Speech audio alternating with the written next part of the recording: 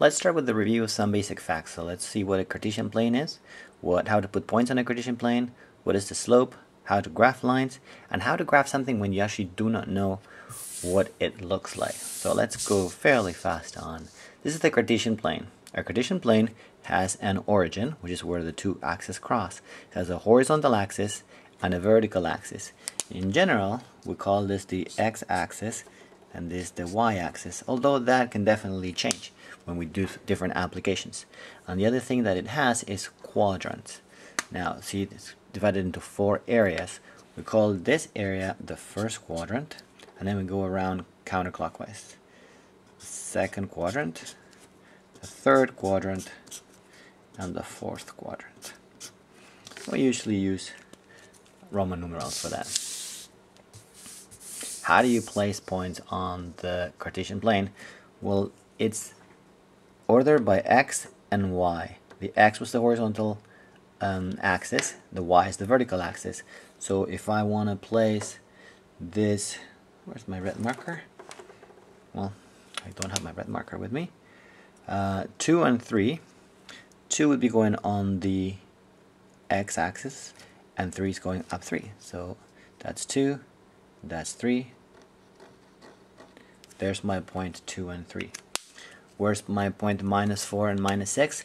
Again, that's the x, so I'm going to go minus 4 and up 6. And where's my point minus 3 and minus 7? With my green marker, which is also missing. Uh, it's minus 3 is going minus 3 this way, and minus 7 going down to the minus 7. And that's how we place points in the Cartesian plane. So let's review about slope. This is very important. Slope, you may remember, usually um, denoted with the letter m, and it's rise over the run. So rise is how far it goes up and down, run is how far it goes left and right. If it goes up, it's positive, and if it goes to the right, is positive too. So if it go, if it, the line's going down, we're going to say it's negative, and if it's going to the left, that's negative too. So the change in y is the rise, the change in x is the run, and here's a cute little uh, diagram to remember. Then you go up and then you go across. So this line right here, what is the slope for this line? Well, if we look here, it goes rise over run is 2 over 4. So 2 over 4. We can simplify that, dividing both by 2, and that's 1 over 2. And if we look at over here, well, let's say we're going down by 6 and left by 12. So really would be saying something like negative 6 over negative 12. Well, if that's the case, the minus and the minus will cancel out, and the 6 and the 12 can be divided by 6, and we end up that the line always has the same slope, and that's 1 over 2. So you can put the triangle on top, and you can put the triangle on the bottom, and that will give you the slope of a straight line. Well, slopes have can be positive and can be negative. And how? Well, if we say that the slope is positive, we mean that it goes up to the right. If the slope is zero, it's horizontal. And if the slope is negative, then it's going down and to the right. And I can't just say going up or going right because, of course, this line right here well, that's going up this way, but it's going down this way. Think about a hill. When you go on a bike, is it going up or is it going down? Well, it depends which direction you're going. So we are talking about going towards the right.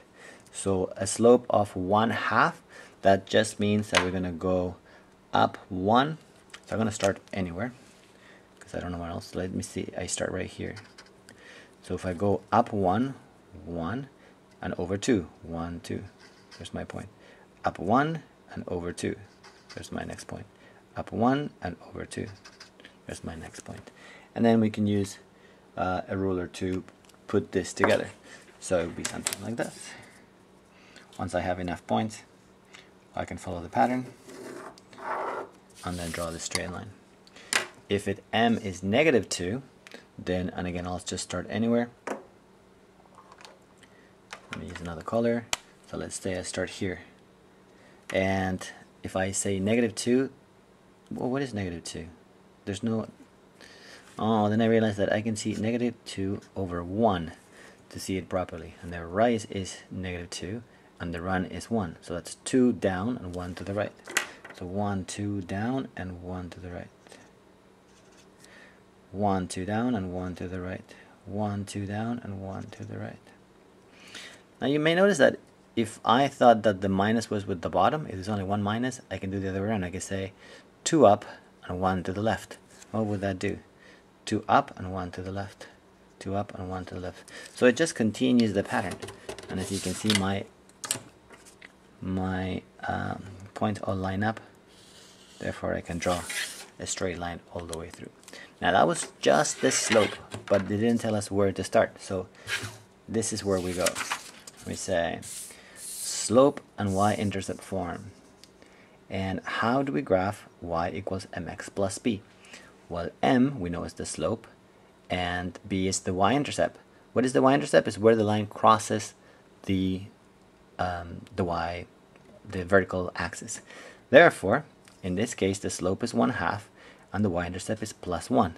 So we're going to start with that plus one. We start with the y-intercept. So at the plus 1, we're going to put a point. And now I take care of the slope. Up 1 and 2 to the right. Up 1 and 2 to the right, another point. Up 1 and 2 to the right, and I continue that pattern. Up 1 and 2 to the right. And I'm going to continue the pattern on the other side too to get some more points. So we down 1 and 2 to the left. Down 1 and 2 to the left. Down 1 and 2 to the left. Until I get enough points or I can go down one and to the left, down one to the left and put the last point. Up one, two, up one, two.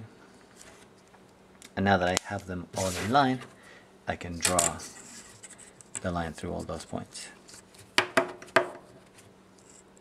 Right? There it is. What about this? y is equal to 3 minus 2x. Hmm. A little bit tricky because my minus 2 is besides the x and that's what makes it the slope. It's not the first number. Then the first number is alone and the number that's alone is the y-intercept. And therefore my y-intercept here is 3 so I start right there. And now my slope is minus 2 so like we remember from the first page it means 2 down 1 over. 1 2 1 over. 1 2 1 over. 1 2 1 over and I can continue that pattern until I run out of space. Up to 1 over up to 1 over up to 1 over. And there's my second line.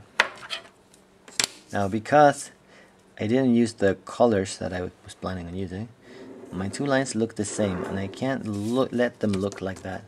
So I don't know which one's which by looking at this.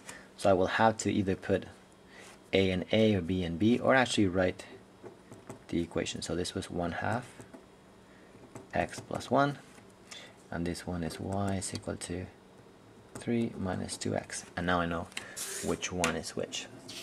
But what would happen if you get to graph something like this? Something like x squared minus x minus 1. Now we will learn some ways of graphing it, but at this point in time you don't really know how to do it. Um, so what you can do whenever it's something like this, and it will happen in the first chapter, you'll just do a table of values. So this is what this table of values will look like.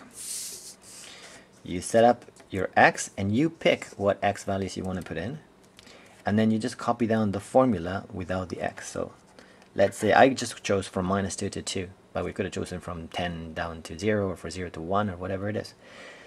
And then you just plug it in. So it was x squared, so minus 2 squared minus minus 2 minus 1. So what does this give us? Minus 2 squared is 4.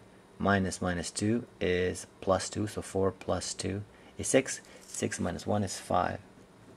So that gives us a point which is minus 2 and 5. The minus 2 that I picked, because this was your input. We picked the input and this equation will just spit out an output. So now I can go back here and I say minus 2 and 5 is going to be a point of my of my function. And then I'll check the second one, minus 1. So minus 1 squared is 1. Minus minus 1, it's plus 1. So 1 plus 1 is 2. 2 minus 1 is 1. So minus 1 and 1 is another point. Minus 1 and 1. There's another point there. And etc. etc. So you can continue and then once you finish putting some points you may get the pattern and then you can speed things up and if not just keep on putting points until you run out of the graph. This would be actually a parabola.